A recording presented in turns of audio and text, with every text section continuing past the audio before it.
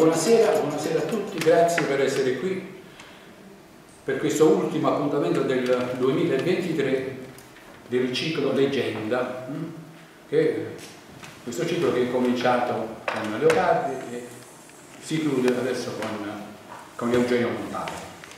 Ora, riepilogando un attimo per il perché di leggenda. Eh, leggenda, cioè, voi sapete che la parola deriva dal, dal latino, no? che significa dire o anche raccogliere. No? Però c'è anche un'accezione greca, no? logos, che è un insieme di cose, cioè non soltanto la parola ma anche causa, ragione e così via. Quindi noi possiamo intendere la, il, il, il, termine di, di, leggere come una raccolta di ciò che serve per, da custodire anche per, per il futuro, per il passato. C'è un'osservazione che faceva Flaubert che mi ha incuriosito ed è questa. Diceva Flaubert, leggete non per divertirvi, leggete non per istruirvi, ma leggete per vivere. Quindi la, la lettura diventa, come adesso ha detto un collega inglese, diventa un atto creativo. Ovviamente però ci sono modi e modi di leggere, no? C'è la lettura lenta, la lettura veloce e dipende anche dai testi. In una, uh, in un'intervista di, di, diversi decenni fa, proprio Montale si occupava di questo, cioè leggere, come si legge. E lui diceva si può leggere in maniera veloce o in maniera lenta. Però ecco, la lettura lenta è talvolta obbligatoria, cioè non, non, si può leggere velocemente, che so, Proust, no? Mentre si può leggere velocemente un libro giallo. Anzi, diceva Montale in maniera un po' un po' provocatorio, dice quello libro già si dovrebbe cominciare dalla fine a leggere, perché quello che interessa è proprio la fine, tutto quello che viene prima è come dire un, è un qualche cosa di eh, preparatorio all'evento finale. Ecco. Ma a parte questo, leggere ci aiuta anche da un altro punto di vista, che può essere interessante per, per tutti noi. Uno studio che ha fatto all'Università di Yale dimostrato, e non solo l'università ma anche altre università, che chi legge ha un'aspettativa di vita mediamente più lunga di due anni rispetto all'altro. Allora conviene leggere, se non per un motivo, per un motivo insomma, utilitario così via. Ecco.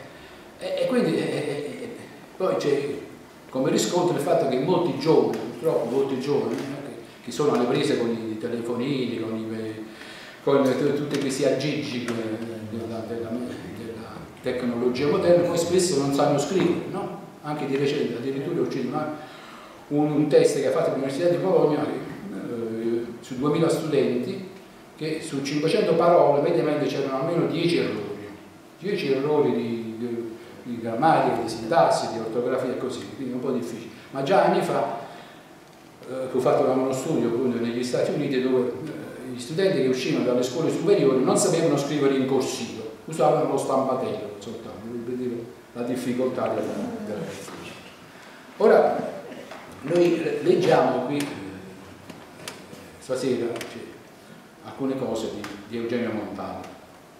Eugenio Montale ci rimanda anche a, a, a qualche cosa che noi abbiamo già studiato, come dire, abbiamo già affrontato. Chi ha partecipato di voi al primo incontro per, su, su Leopardi, no? ci sono molti, molti richiami no? All'opera leopardiana. Io ho intitolato questa, questa puntata, Montale, avete visto dalle locandine, Montale e la ricerca della felicità, che è un tema carissimo a Leopardi, come sapete. No?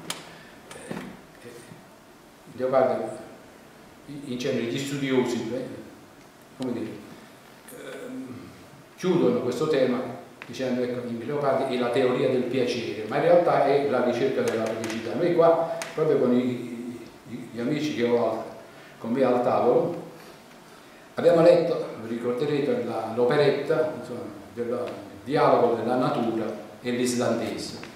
E l'islandese che cosa chiede alla natura? Vi ricordate? Cioè, questo personaggio di questa terra lontana e così via. No? Dice, ma perché io devo soffrire?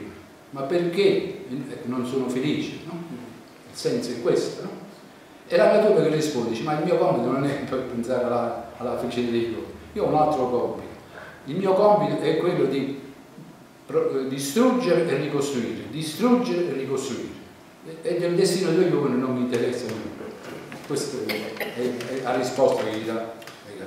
E, quindi c'è questa, questa, eh, questo desiderio di ottenere la fede, che è un desiderio comune, ci appartiene a tutti, ciascuno di noi cerca di, di poter avere diciamo, un po' di felicità, sono stati fatti tanti film no?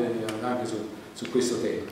Montale ecco, imposta questo discorso, eh, lui che diciamo, viene etichettato dalla critica come il, il poeta del, del, male del vivere, no? anche io scrissi tempo fa, anni fa, un saggio, il Montale il male vivere, un testo che ormai è esaurito da, da, da un po' di tempo. Ecco. Ma Montale ecco, eh, ci racconta proprio questo ecco, in una poesia che ha proprio il titolo. Ecco. Anzi, chi ha l'occasione poi di leggere Montale, vedete che la maggior parte delle poesie di Montale, soprattutto gli ossi di è il suo capolavoro, non hanno un titolo, no? hanno un titolo solo le sezioni. Noi interpretiamo la, la poesia dal primo verso in genere, no? Così. E il primo verso di, questa, di questo osso, diciamo, di questo osso di sete, si intitola ecco, felicità raggiunta. No? Che cosa è la cosa, come si può fare? Allora, Montale cioè, dice, felicità raggiunta, comincia così, si cammina per te sul fil di lama, cioè si cammina sul filo del rasone, quanto è difficile ottenere. Poi c'è agli occhi sei il barlume che vacilla, al piede teso ghiaccio qui si incrina. Cioè, gli occhi è, una, è, come un vento che basterebbe, che è come una, una lucina, che un vento anche occasionale può distruggere. E poi camminare sul, eh, su, sugli ghiacci che si inclinano.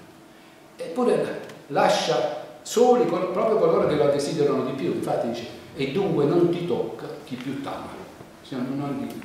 Eppure la precarietà poi ritorna nel, nel, nel, nelle strofe successive, dice, se giungi sulle anime invase di tristezza, e le rispiare. Le anime invase di tristezza che sono piene di, di, di dolore, di amarezza, e le rischiare che la felicità da questo desiderio. Tutta invece la preghiera dice il tuo mattino è dolce e turbatore, come i nidi delle cimase, è come vivere sul, in un nido sopra un, sopra un, eh, sopra un palazzo, sopra un edificio, come i nidi delle cimase. Ma poi la felicità non è tanto in, nella quantità o nel, noi siamo dire, presi da, eh, in continuazione da, dai dati, chi è il più ricco, chi, è il, chi ha più successo, no? ma la felicità consiste anche in cose minime, in quello che in quel momento ecco, il possessore, per così dire, giudica la, la, la felicità. È il mistico finale, che è bellissimo, tra l'altro ce lo dice, dice ma nulla paga il pianto del bambino a cui fugge il pallone tra le case. La felicità è il palloncino no? che il bambino tiene in mano, che un attimo di vento può far volare via. Il bambino rimane stordito, avvilito, perché nulla vale il, piano, il palloncino che è sfiorito tra le case. Io ho, ho, spezzato la poesia per indicare alcune cose, per commentare, adesso però vorrei che la leggessimo tutti insieme.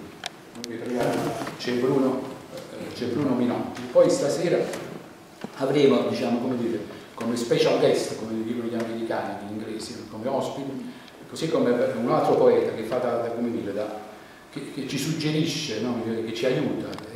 La, la, prima puntata, ricorderete che c'è stato con noi Eugenio Lucrezia che ci ha proposto anche addirittura una rilettura, una riscrittura del, del poemetto di Leopardi dei nuovi credenti Stasera c'è con me Fabio De Notte, che poi dopo... Ecco, Fabio, no? Fabio, chiameremo anche per, per avere Anche Fabio, tra l'altro, è poeta, poeta di Lungoborso, diciamo un paio di cose sue recenti che mi è capitato di vedere, l'Albergo dei Morti, la Corriera Azzurra, poi è, è il curatore del, del pensiero poetante, no? un po' come io pure libero in poesia, quindi ci occupiamo di questo. Ed è anche critico, tra l'altro una curiosità che vi vorrei dire che la maggior parte o buona parte dei poeti no, sono anche critici, cosa che non avviene per i narratori. No? I narratori, il poeta invece, e semmai spesso il poeta scrive anche per il teatro, ma soprattutto sono i critici, era critico Montale, adesso lo vedremo, fu, fu critico al, al, Corriere per tanti anni e tra i critici più importanti del Novecento, ovviamente ricordiamo T.S. Eliot, il più grande poeta del Novecento inglese e anche il più grande critico del Novecento. Quindi c'è questa, questa, questa, peculiarità che unisce la poesia e la critica. Adesso allora Adriano si legge questa pubblicità raggiunta.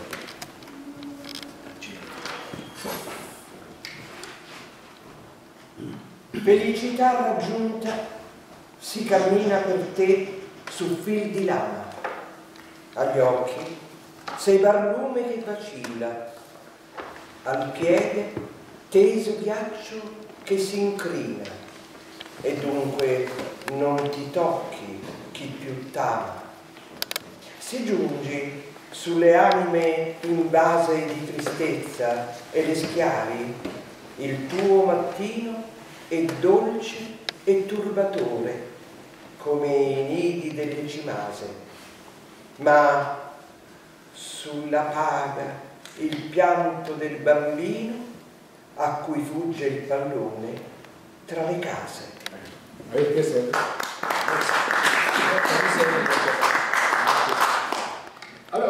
Allora, tornando, riprendendo il tema adesso appunto della felicità, ma la felicità così, bisogna cercarla, bisogna dire, trovarla vivendo, no? bisogna, è l'esperienza. No? E questa esperienza questo racconto dell'esperienza torna in un'altra poesia sempre degli ossi, anzi vi dico questo, che Montale in realtà ha scritto poco, no? tutto sommato rispetto a Montale ha scritto tre libri, no? Gli ossi di Seppio, le occasioni, la bufera. Poi c'è anche un'altra pubblicazione di Satura, quelle le, le prose di, di Farfalla dei Dini, però in realtà Montale, io dico, scritto un libro e mezzo, cioè gli ossi è parte delle occasioni, non tutte. No? che bisogna anche essere, diciamo, dire, la critica diciamo, deve cercare di individuare diciamo, laddove c'è veramente la poesia. Io questo l'ho appreso da un mio maestro, sono stato allievo di Salvatore Battaglia, il più grande critico, come sapete, non so, e quando Battaglia per esempio leggeva i testi, no? anche montati, a un certo punto diceva basta, qui la poesia è finita, quello che viene dopo non serve. Perché? Perché lui quello che doveva dire l'ha già detto ed è inutile ripeterlo questa ripetizione continua invece è, è più, eh, come dire, fa parte più del, di, di, chi scrive di, di, di, narrativa, di saggistica, di altre cose. La poesia deve essere essenziale, no? Spesso noi abbiamo imparato, anche soprattutto dalle, dalle formule, no? l'ermetismo, il surrealismo e così via. Per quanto io non amo queste formule, cioè, la poesia è poesia, cioè, le formule queste del surrealismo, io dico sono per i critici scarsi, quelli che non, eh, hanno bisogno del compartimento stagno, in realtà la poesia è così, cioè Montale come vedremo si avvicina a Leopardi, qua la sua volta si avvicina a, a Torquato Tassi, qua la sua volta si avvicina a Petrarchi e così. La, la, storia della letteratura non è una storia verticale come ci, ci impongono, ci hanno imposto a scuola, ma è una, è una storia orizzontale, cioè una storia di sensibilità, e la sensibilità è la stessa anche attraverso, attraverso i secoli, non, non, necessariamente deve cambiare perché io una sera vado a letto e sono neoclassico, neoclassicista e poi la mattina mi sveglio romantico, questo com'è possibile? Queste sono le sciocchezze che purtroppo la scuola ha veicolato per, per tanto tempo. Allora, per tornare invece alla poesia, a questo della, della, della felicità, Montale ci racconta una storia in questa poesia che noi adesso leggeremo che si intitola Falsetto. Falsetto perché ha già eh, cioè, un po' una mezza luce, ma soprattutto c'è un richiamo personale, perché Montale da giovane aveva studiato da baritono, e non a caso poi negli anni, negli anni successivi, quando lui fu a Milano, al Corriere della Sera, lui lasciò, lasciò Genova, andò al gabinetto Viesi a Firenze, fu cacciato dal gabinetto perché non volle firmare la, la, la tessera fascista e poi approdò dopo il 48 con la guerra al, al, Corriere e rimase al Corriere fino, a, fino, fino alla fine. Eh, questo eh, farsetto ricorda appunto questo episodio, ma soprattutto per chi studia Montale, questa poesia è la poesia di Esterina, perché la protagonista si chiama Esterina, Esterina. Ed è eh, tutta diciamo, bilanciata su, sulla, sulla, giovinezza e la perdita della giovinezza, o il rischio che si perde, l'importanza della giovinezza. E qua c'è già subito un richiamo, si pensa alle parti, no? Ma già la poesia, la prima dice Esterina, i vent'anni ti minacciano. grigiorosi a nube che a poco a poco in sé ti chiude. Questo è l'incipit. No? I vent'anni sono una cosa bellissima, ma sono anche una minaccia perché sta finendo una stagione della vita. Bisogna confrontarsi con altre esperienze. E allora qui il richiamo a Leopardiano è quasi d'obbligo. No? A, a chi fa pensare questo? Alla Silvia o alla Nerina delle ricordanze. Ricordate l'incipit di Silvia, no? Silvia, rimembri ancora quello stato della tua vita mortale, quando verità splendeva negli occhi tuoi ridenti e fuggitivi, e tu lieta e pensoso in imitar di gioventù salivi? Ecco, Silvia ha questo. Leopardi usa quattro aggettivi che sono di una perfezione straordinaria, noi non potremmo sostituirlo con nessun vocabolario dei sinonimi o quello. Come è Silvia? Silvia? Gli occhi di Silvia come sono? Sono ridenti e fuggitivi, sono ridenti che sono finiti, però c'è un'ombra, sono fuggitivi. E l'atteggiamento di Silvia com'è? È lieta, ma pensoso. Questo è, come Esterina, i vent'anni di minaccia, grigiorosi a lungo, che a poco a poco senti cioè intendi e non paventi. La, la, la, la, favola di Esterina questa, si svolge in uno stabilimento balneare, cioè Montale vede questa ragazza che sta per fare i bagni, come avviene d'estate uno stabilimento, e finirà poi per fare il tuffo nel mare. Allora ecco, lui, lui la, la, descrive, quindi la incoraggia, cioè, noi speriamo che sia un, un concerto di sonagliere, che andrà tutto bene, eccetera, e poi dice, eh, vede la ragazza, dice, tu, tu distendi le membra al sole, ci ricordi la lucertola sul masso brullo. Te, inci, te in, eh, eh, preoccupa, eh, eh, ti insidia giovinezza, quello è il lacciolo del fanciullo, c'è, il rischio di quelle cose. Ma tuttavia eh, Esterina non può fare a meno di, di, di tentare dire, di fare quello che abbiamo fatto tutti e lo faranno tutti, cioè il tuffo nella vita.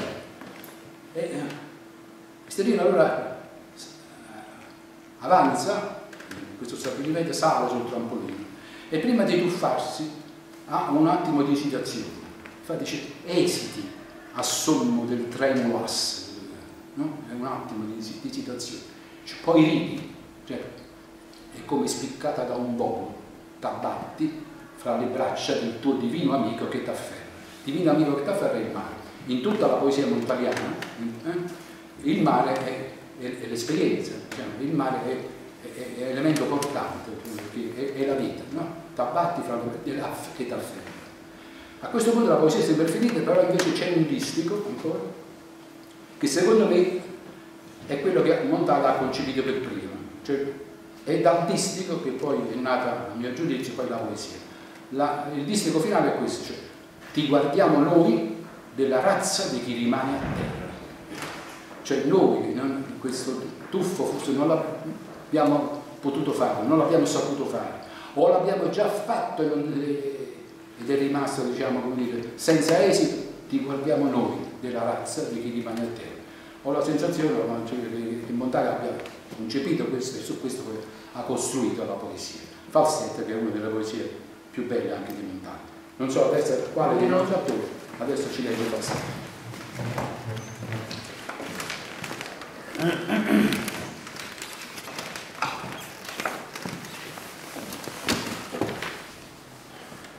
e sereni. I vent'anni di minaccia, grigio roseo nube che a poco a poco in sé ti chiude. Ciò intendi e non paventi. Sommersa ti vedremo nella fumea che il vento lacera o addensa violento. Poi dal fiotto di cenere uscirai a rusto più che mai, protesa un'avventura più lontana l'intento viso che assembra l'arciera diana. Salgono gli eventi autunni, t'avviluppano andate primavere. Ecco per te rintocca un presagio nelle elisi sfere, un suono non ti renda, quale incrinata brocca percossa. Io prego sia per te concetto ineffabile di sonagliere. La dubbia rimane non ti impaura, leggiadra ti stendi sullo scoglio lucente di sale e al sole bruci le membra. Ricordi la lucertola ferma sul masso brullo. Te insidia giovinezza, quella il lacciolo d'erba del fanciullo. L'acqua è la forza che ti tempera. Nell'acqua ti ritrovi e ti rinnovi. Noi ti pensiamo come un'alga, un ciottolo, come un'equorea creatura che la salsedine non intacca, ma torna più pura. Hai ben ragione tu, non turbare di ubbie il sorridente presente. La tua gaiezza impegna già il futuro ed un crollar di spalle dirocca i fortilizi del tuo domani oscuro. T'alzi e t'avanzi sul ponticello esiguo, sopra il gorgo che stride. Il tuo profilo si incide contro uno sfondo di perla. Esiti a sommo del trevolo asse, poi ridi e come spiccata da un vento t'abbatti tra le braccia del tuo divino amico che t'afferra. Ti guardiamo noi, della razza di chi rimane a terra.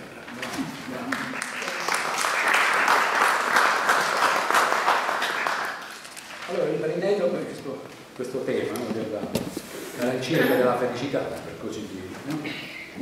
c'è un testo di Montale molto famoso, tra l'altro, un osso, anche questo è un osso di sé, dove c'è l'incontro con la natura, l'osservazione della natura, la bellezza della natura e il destino invece amaro dell'individuo. Il testo si intitola, si intitola, è sempre il primo verso che dà il titolo, Merigiare pallidi al sole, ed è un'osservazione no? del, del, della natura, no? vissuta quasi in solitudine. Questo è anche un argomento molto importante di Montale, perché eh, Montale dirà cioè, con, con l'urgenza di questi tempi di, della comunicazione, già all'epoca, no? dice eh, non riusciamo più a, a, stare soli, a riflettere, è quello che avviene anche oggi, no? perché questi mezzi ci, ci, condizionano in maniera straordinaria. Nel, nel discorso che lui aveva preparato per eh, quando ricevette il premio Nobel, lui voleva intitolarlo proprio questo, eh, riuscirà la poesia a sopravvivere al, ai mezzi di comunicazione. Poi lo cambiò leggermente, ma il tema è lo stesso, diceva, il, quale futuro per la poesia, questo era poi il tema diciamo, che discusse al, al momento del, del, del, del Nobel. E non riusciamo a stare soli, non riusciamo a stare con noi, non riusciamo a, anche perché poi lo vedevo fra un attimo c'è la, difficoltà anche di, di comunicare. E in questo meriggiare bellissimo che lui dice, porta avanti il discorso della natura, però poi si scontra alla fine diciamo, con il, solito destino amaro. In fondo è come dover scalare una muraglia, no? il famoso muro d'oro che ha in cima cocci aguzzi di bottiglie. Torna il discorso della difficoltà, il fil di rame e così via. Se la vogliamo sentire un attimo, sì. Sì. Neggiare, pallido assorto presso un rovente muro d'orto, ascoltare tra i bruni e gli sterpi schiocchi di merli, frusci di serpi. Nelle crepe del suolo o sulla veccia spiare le file di rosse formiche che ora si rompono e ora si intrecciano a sommo di minuscole biche osservare tra i frondi il palpitare lontano di scaglie di mare, mentre si levano tremuli scricchi di cicale dai calvi picchi. E andando nel sole che abbaglia, sentire con triste meraviglia com'è tutta la vita e il suo travaglio in questo seguitare una muraglia che ha in cima cocci aguzzi di bottiglia.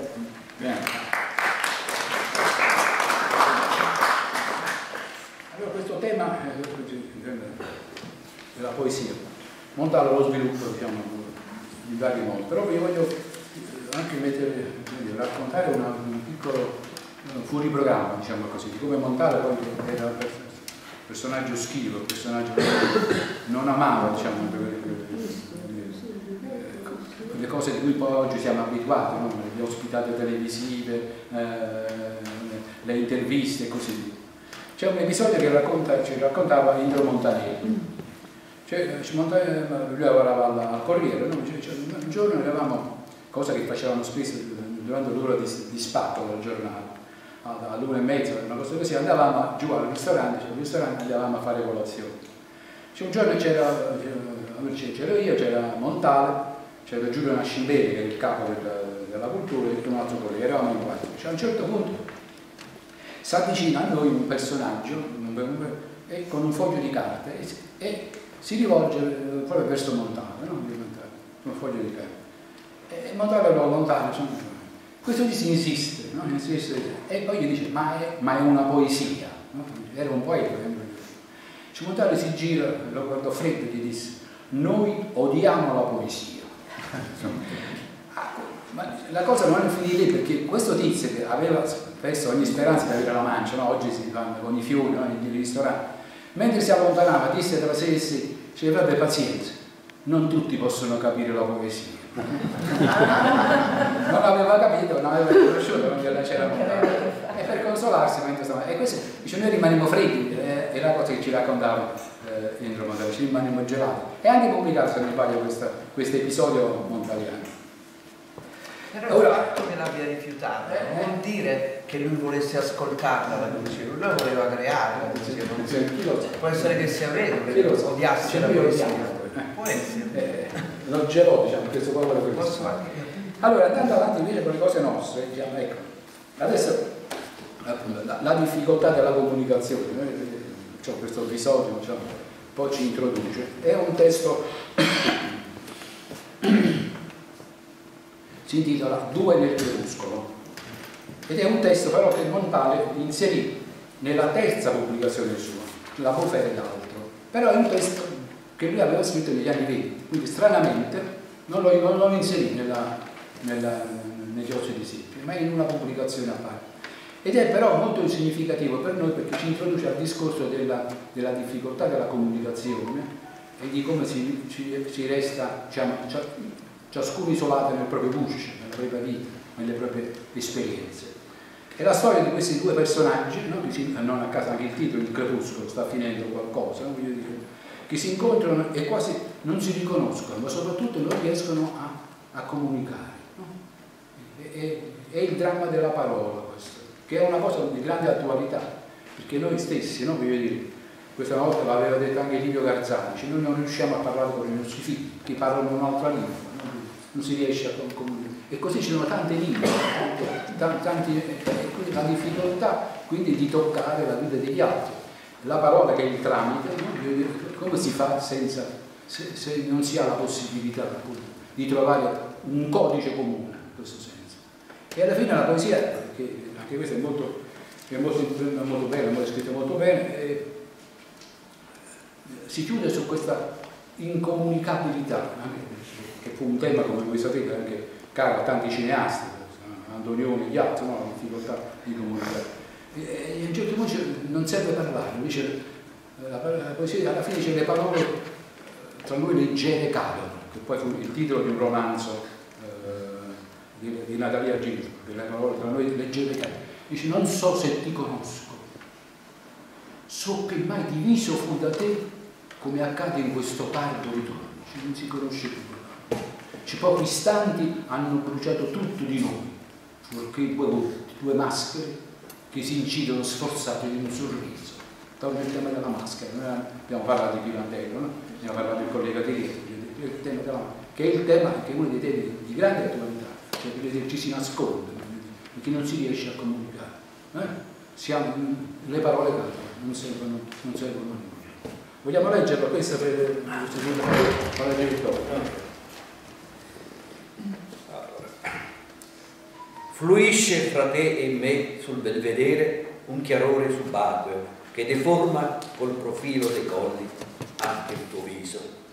Sai un fondo sfuggevole, reciso da te ogni gesto tuo. Entra senza e sparisce nel mezzo che ricolma ogni solco e si chiude sul tuo passo. Con me, tu qui, dentro quest'aria scesa a sigillare il torpore dei massi. Ed io, riverso nel potere che grava attorno, cedo al sortileggio di non riconoscere di me più nulla. Fuori di me. Se io levo appena il braccio, mi si fa diverso l'atto, si spezza su un cristallo, ignota e impallidita sua memoria, e il gesto già più non m'appartiene. Se parlo, ascolto per la voce attonito, scendere alla sua gamma più remota o spenta nell'aria che non la sostiene, tale nel punto che resiste all'ultima consunzione del giorno. Dura lo smarrimento. Poi un soffio risolleva le valli in un frenetico modo e deriva dalle fronde un tinnulo suono che si disperde tra rapide fumate e i primi lumi disegnano gli scavi. Le parole tra noi leggere cadono. Ti guardo in un molle di verme. Non so se ti conosco, so che mai diviso fui da te, come accade in questo tardo ricordo. Pochi istanti hanno bruciato tutto di noi fuorché due volti, due maschere che si incidono, sforzate di un sorriso.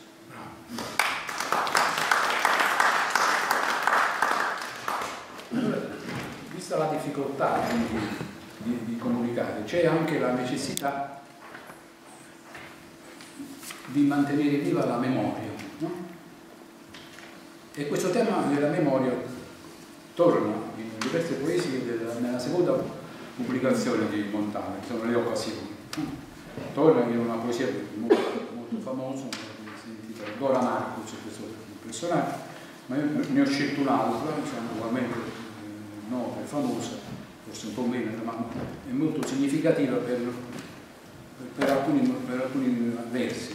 La poesia si intitola, questo c'è il titolo, eh, La casa dei doganieri, che è il luogo del, del ha trascorso parte della, una parte, anche breve della sua vita, con un'altra persona e adesso diciamo tutto è, è sempre dimenticato, soprattutto dal, dal suo interlocutore, interlocutrice. poi si torna tre volte il tema, cioè la, la battuta, tu non ricordi, tu non ricordi, tu non ricordi. Ma in questo che cosa c'è? C'è la necessità di trovare il varco, questo è il discorso, di trovare, di trovare in sostanza una via d'uscita. No? In altro momento ci dirà come il pesciolino che deve trovare il buco nella rete, cioè uscire eh, dalla prigionia e lanciarsi no? nel, nel, mare aperto. Così. Trovare il buco nella rete, cioè, tu non ricordi, tu non ricordi, tu non ricordi. E poi alla fine anche lui rimane dire, spiazzato poesia si finisce e eh, non so chi va e chi resta. Ecco, questa difficoltà di, di, di, riconoscere, che è affidata poi alla memoria, perché poi noi siamo, lo dirà poi Borges, no? noi siamo la nostra memoria, cioè, senza non saremo nulla. E, e, quindi è, è quasi un'invocazione, è una, è una presa di posizione, cioè tu lo ricordi, tu lo ricordi, tu lo ricordi, tre volte trovo una mente. Chi la legge? Chi ci legge la, la casa dei doganieri. Tu non ricordi la casa dei doganieri, sul rialzo a strapiombo sulla scogliera, desolata t'attende dalla sera, in cui ventrò lo sciame dei tuoi pensieri e vi sostò irrequieto. Libeccio sferza da anni le vecchie mura e il suono del tuo riso non è più lieto. La bussola va impazzita all'avventura e il calcolo dei dadi più non torna. tu non ricordi. Altro tempo frastorna la tua memoria, un filo sa di pana. Ne tengo ancora un capo, ma s'allontana la casa e in cima al tetto la banderuola affumicata gira senza pietà. Ne tengo un capo, ma tu resti sola, né qui respiri nell'oscurità. Ah, l'orizzonte in fuga, dove s'accende rara la luce della petroliera. Il barco e qui ripullono al frangente, ancora sulla balsa che scoscende. Tu non ricordi la casa di questa mia sera. Ed io non so chi va e chi resta.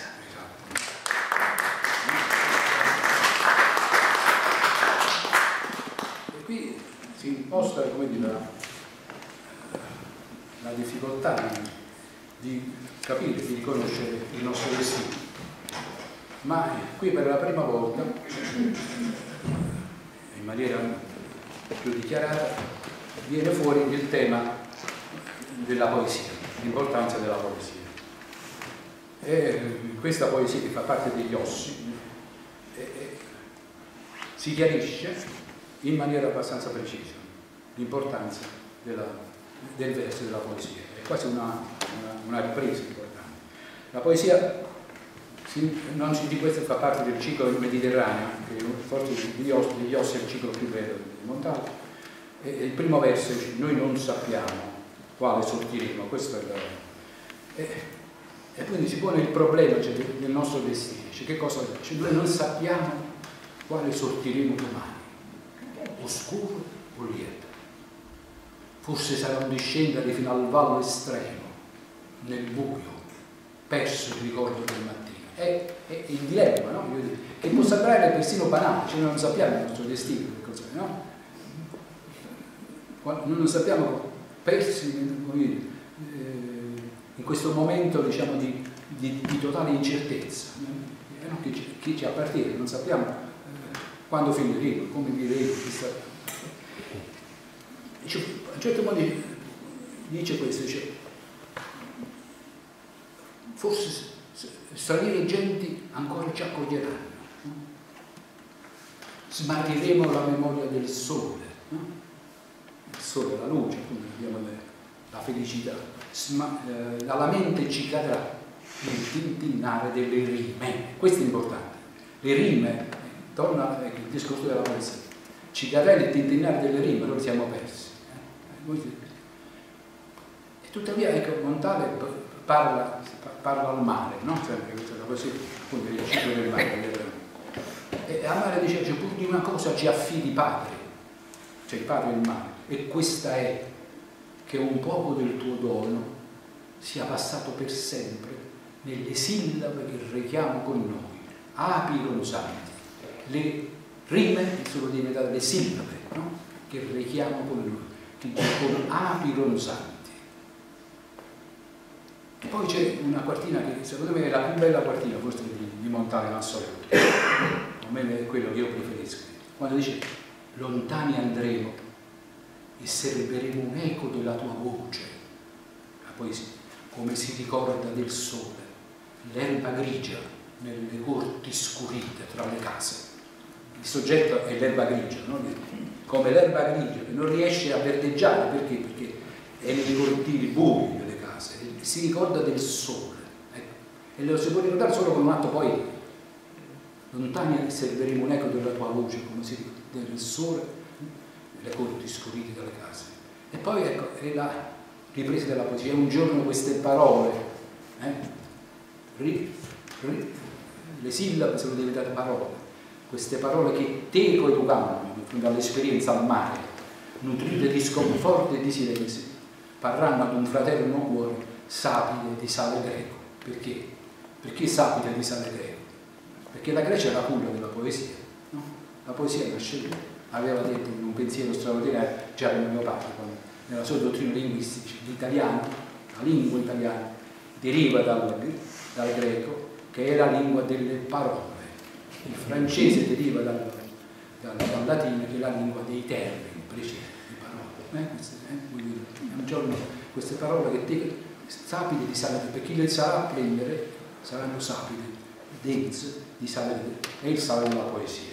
Comincia questa, diciamo, questa ripresa, ma anche forse questa vittoria cioè, della poesia. Lui non, in un'intervista aveva detto, eh, riferendosi anche a questo, un po' riprendendo un concetto leopardiano, cioè in fondo la poesia non serve a niente, non fa niente, anche perché poi basta un foglio di carta e una penna per scrivere, eh, però poi serve a farci vivere.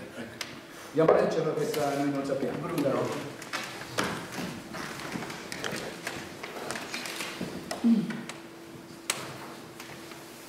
Noi non sappiamo quale sortiremo domani, oscuro o lieto. Forse il nostro cammino a non tocche radure ci addurrà, dove mormori eterna l'acqua di giovinezza. O sarà forse un discendere fino al vallo estremo, nel buio, perso il ricordo del mattino. Ancora terre straniere forse ci accoglieranno, smarriremo la memoria del sole, dalla mente ci cadrà il tintinnare delle rime.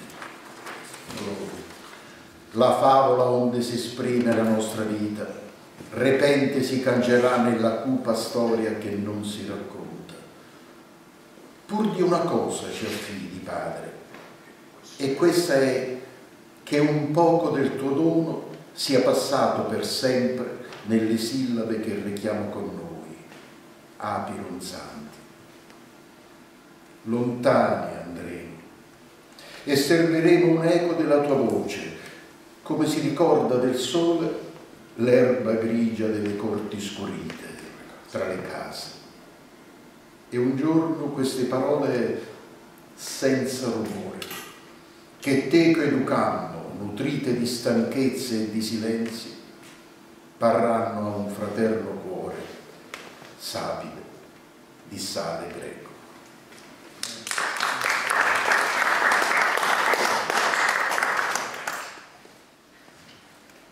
Il tema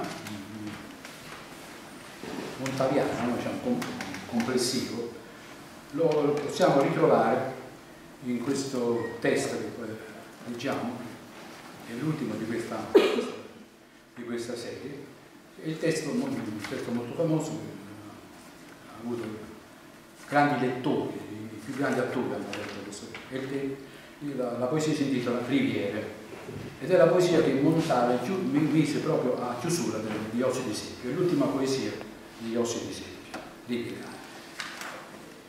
Ed è l'unico testo nel quale torna il, il termine osso di seppio, la, la, la raccolta si intitola appunto, come sapete, ossi di seppio, ma non c'è riferimento, tranne che in quest'ultimo testo. È in quest'ultimo testo che l'osso di seppia sballottato. Ma Riviere ci, ci aiuta anche, anche, ancora una volta ad un parallelismo anche con, con la poesia leopardiana.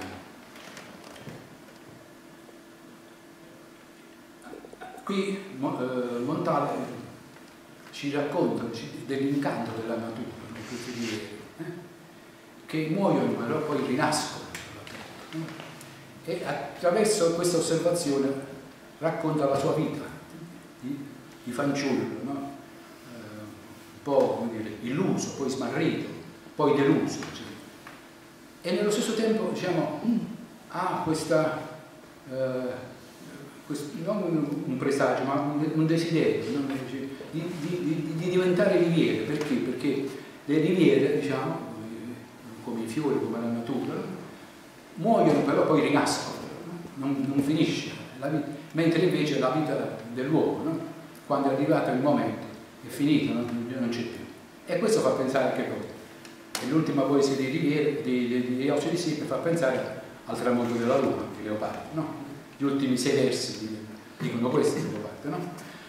Anche Leopardi dice la, la luna, eh, la, la, notte, finisce perché tra la luna tramonta, però poi se voi collinette e piagge ritornerete eccetera eccetera e ci sarà la nuova vita, il nuovo giorno, la nuova vita, a differenza invece di quando avviene per l'esistenza umana. infatti dei sei versi finali, secondo la, la testimonianza di Ranieri, Leopardi tentò addirittura sul letto di morto, non sappiamo se è vero oppure no, comunque, eh, che cosa dice? Ma la vita mortale, poi che la bella giovinezza sparì, non si colora d'altra luce giammai, né d'altra aurora. Vedova è insino al fine, e dalla notte che l'altra età oscura segno poserie è la sepoltura. Cioè, quando finisce il giorno, finisce la, la giovinezza, non c'è altro da fare, no? Poi quella bella giovinezza, e, qua anche la parte è durissima nel, linguaggio, perché in altri termini, qui dice la giovinezza sparita, in altri termini hai giovanezza, giovanezza, quale stagione gli deve essere così, giovanezza e giovanezza. E poi ci aspetteremo da, da Leopardi, il poeta dolce, non la, la giovinezza sparita, mai svanì come, come nella, nella la serie del di festa, no? la luce si vanire a poco a poco, invece lui proprio è freddo, è secco, asciutto. La bella giovinezza sparì e finita. E alla notte, la notte del cos'è? È l'età della vecchiaia, l'età adulta, che l'altra età che è oscura, che ha eh? l'appuntamento è con la donna, segno positivo la sepoltura. È durissimo in questo. Montale che è altrettanto amaro, come si sapete, però ha un finale non di speranza, ma un finale, come dire, quasi di, eh, di auspicio, no? come sarebbe bello se noi potessimo in qualche modo, come i fiori, come le dire, no? eh, eh, Canciarne pur dice a un certo punto, in inno l'elegia, no? eh, non sparire più, no? Eh, sentirne pur domani simili a questi fiori, oggi, ieri scarniti e nudi, oggi pieni di, di fremiti e di linfe, sentirne pur domani un riaffluir di sogni, un urger folle di voci verso un esito e nel sole che vi investe rifiorire. Cioè questa è, è, è ugualmente una, una, una, sentenza amara, però nello stesso tempo diciamo, possiamo dire diciamo, paradossalmente anche se è scritta dopo, diciamo, dire dopo, è, è, meno, è meno severo, ah, diciamo così, di quello che, che, che è lo spirito leopardiano, anche perché diciamo, la leggiamo con una maggiore dolcezza questi, questi libri. E Leopardi invece non lascia, non lascia spiegare.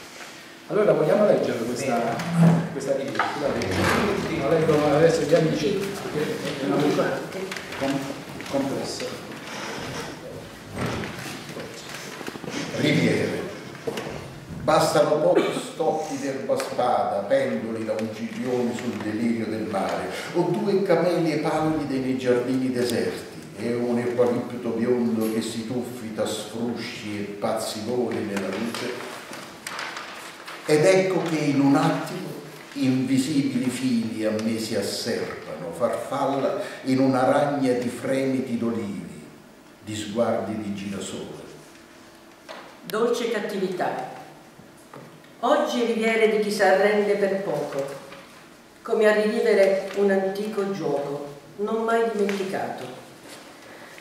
Rammento l'acre filtro che porgesti allo smarrito adolescente, o rive, nelle chiare mattine, si fondevano dorsi di colli e cielo sull'arena dei lidi.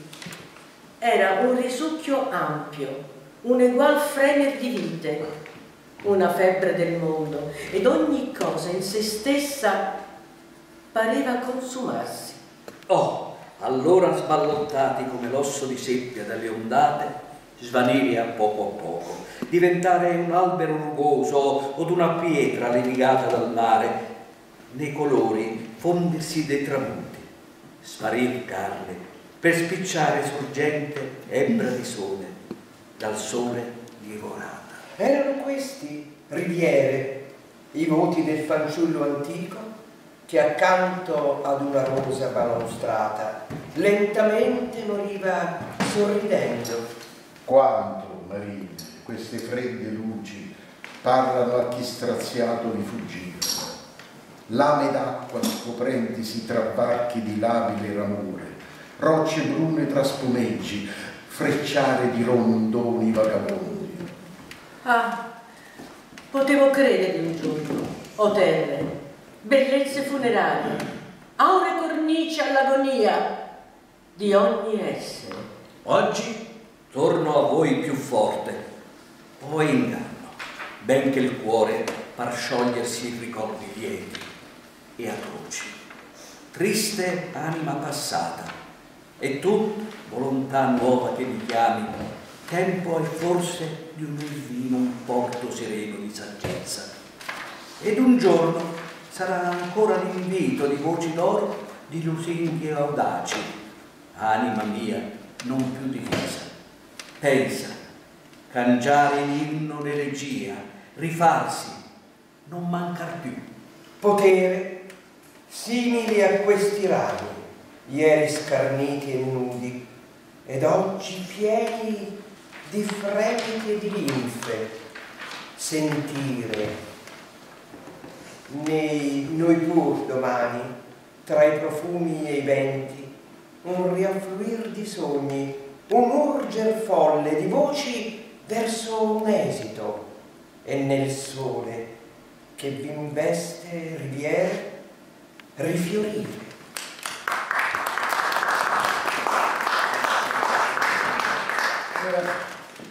Io volevo dire questo, volta, ho fatto le leopardi, io dato alcuni libri ma non erano sufficienti per tutti, ne ho trovati altri, chi non avesse avuto sono a vostra disposizione, è un libro si è esaurito subito trattando di leopardi, comunque sono a vostra disposizione, se volete poi potete, potete prendere, sono soltanto 7, 8, non lo so, saranno forse un numero insufficiente, ma è quello che ho trovato, il resto è, è, è tutto esaurito. Allora, eh, adesso volevo dirvi questo, diciamo, prima di chiudere. Noi abbiamo avuto però anche qui, come ho detto all'inizio, l'assistenza di un altro poeta, un altro poeta, un altro scrittore, eh, eh, che eh, diciamo come tiene la mano, no? tiene la mano, ci aiuta e che è anche uno studioso, oltre ad essere poeta in proprio, come ho detto, è anche uno studioso gregoariano. L'amico Fabio Ganotti che è venuto da fuori tra l'altro, lo ringrazio e volevo anche una tua testimonianza, magari qui e poi dopo. Buonasera a tutti. Eh, io in effetti avevo preparato qualche cosa, però eh, preferirei riallacciarmi, innanzitutto voglio mantenermi nei, nei limiti dei cioè, temporali eh, fissati dall'amico Antonio No, volevo eh, così continuare un po' il discorso così interessante che ho sentito. Ad esempio si è parlato di, esse, di essenzialità, giustamente eh, Antonio eh, diceva la poesia deve essere essenziale, insomma bisogna, ed è così, ha ragione, perché si dice che bisogna sottrarlo, insomma, lo diceva Leopardi quindi siamo in buona, in buona compagnia. Eh, no, volevo citare anche un verso di Montale che lo dice, lo ribadisce, no, vorrei essere scabro ed essenziale, eccetera, eccetera. Come il cioccolo. Come il cioccolo. Eh, come il cioccolo. E poi, eh, sempre Antonio parlava della storia e della, a, a proposito della scuola. Ed è vero anche questo, perché eh, se noi pensiamo, eh, quando abbiamo studiato, nel, adesso le cose sono un po' cambiate, ma eh, quando qualche annetto fa, insomma, eravamo eh, giovincelli liceali, i, i, libri di testo erano, il titolo era questo, Storia della letteratura latina, Storia della filosofia, eccetera e quindi si, si muoveva in, diciamo, in storicismo. E qui eh, Montale, eh, gli strani di Montale si appuntano anche sulla, sulla, sullo storicismo, sulla cultura storicista eh, idealistica, marxista, di destra di sinistra. Lui in, una, in un testo dice Chieri, Chieri, rosso-nero, no? no? nome di chiesa o d'officina riferendosi proprio a, a, questo, a, questo, aspetto.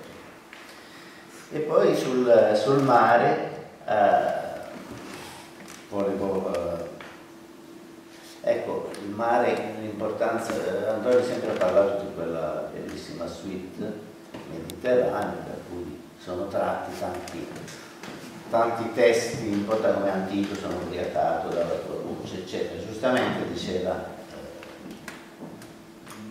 forse è la, lezione, la sezione più bella, forse la alla fine sì, eh, diceva anche che appunto il titolo è dato dal, dal primo verso. Diciamo,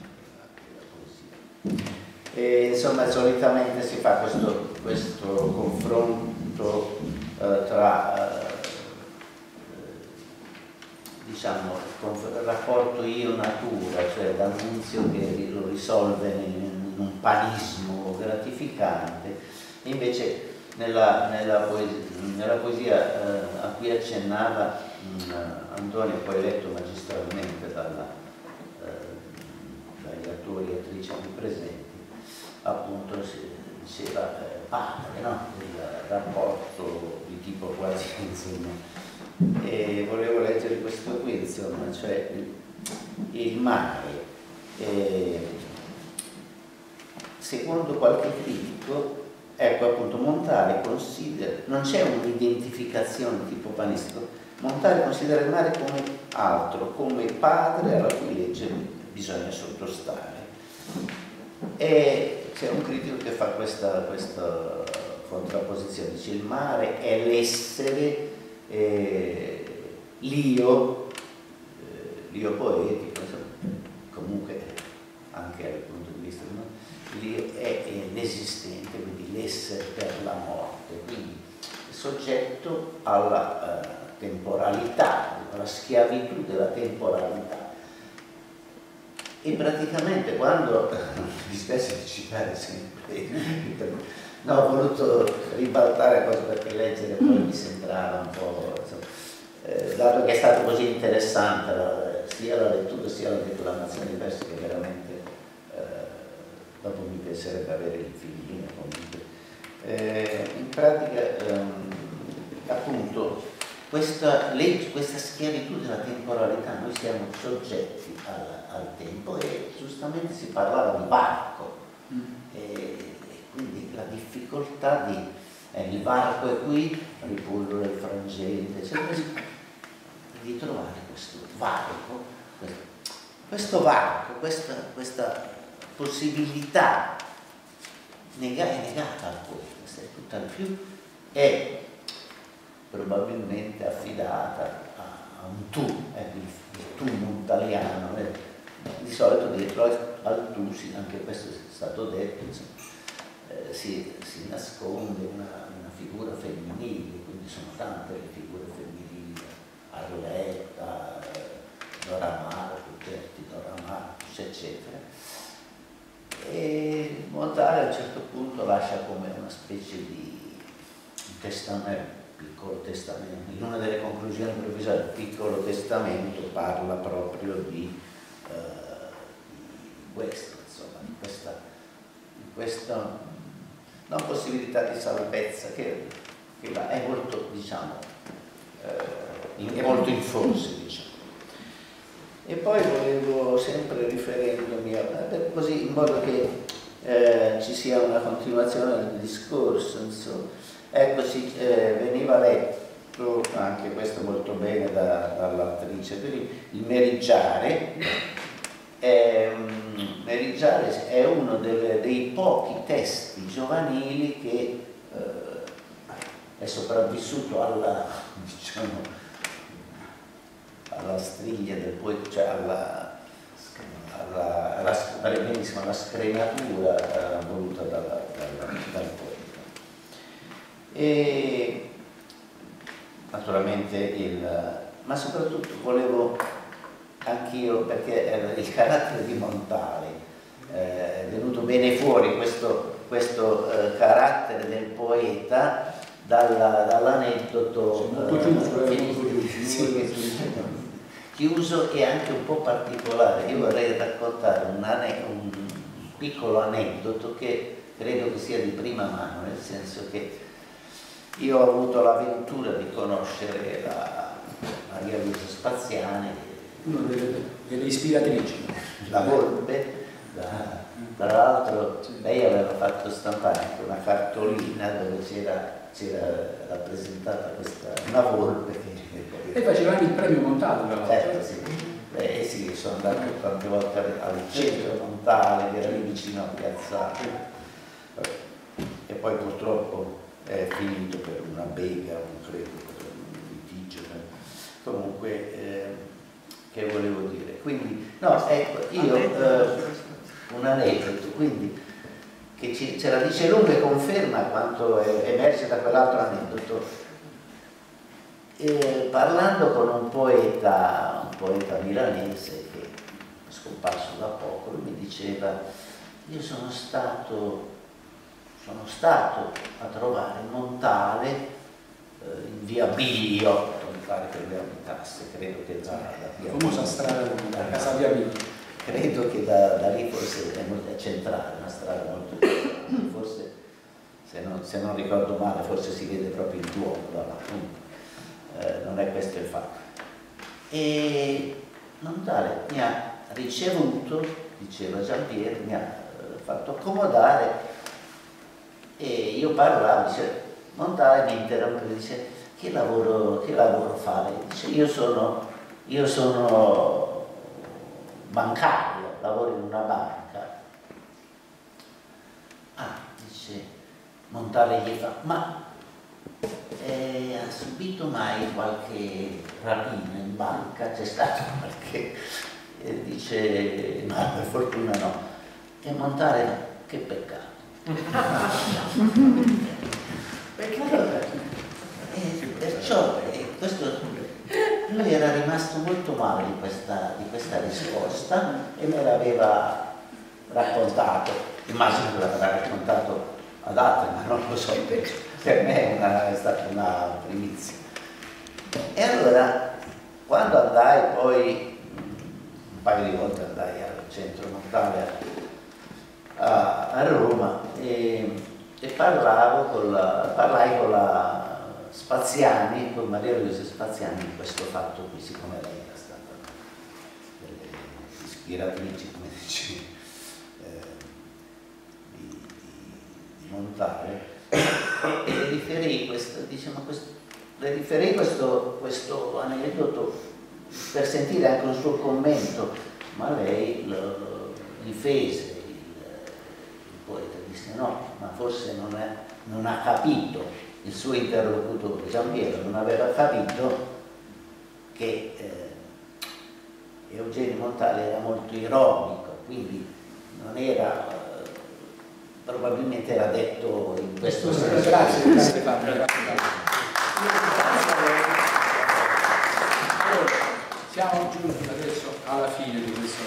Se volete voi potete prendere fino a definito e volevo ringraziare, volevo dare con, con gli auguri anche del nuovo anno, del nuovo anno, e volevo ringraziare qui gli amici, un attimo, volevo ringraziare anche gli amici che hanno partecipato con noi. Qui, Bruno, Bruno, Bruno, vuoi, vuoi fare un Ringrazio sì, amici, sì. Adriana Carpi, Vittorio Di Bisogno e di Gaggiani, Bruno Minotti, ovviamente ringrazio, ma anche voglio ringraziare i colleghi che hanno dato fondo, hanno dato, dire, hanno dato sostegno alle altre iniziative. Fiorella Franchini, eccola lì, eccola. Fiorella Franchini, Carla Pietro, Lucia Stefanelli e ovviamente Bruno Aimone che ci sta iniziando con questi filmati. E faremo, faremo un film sul, su questi incontri. E ne fare, faremo poi anche un libro tra l'altro. Ma soprattutto la nostra intenzione, ne ho già parlato con i colleghi della federazione a Roma, il Presidente non è potuto venire perché ieri ha finito proprio un, finito ieri un, un, un, un festival all'anno, quindi non ce, l'ha fatta a venire, faremo un nuovo ciclo e quindi per chi ha autori da, da studiare e soprattutto con lo spirito di leggerli in chiave attuale, cioè non soltanto come da, da museo, ma soprattutto questi personaggi ci parlano ancora, perché come si dice eh, forse in maniera banale, ma è vero che i classici sono sono quei testi, testi classici che non, non finiscono mai di dirci ciò che hanno da dire. Cioè, eh, eh, e, vanno, e vanno riletti. Va bene? Grazie a tutti, auguri. auguri.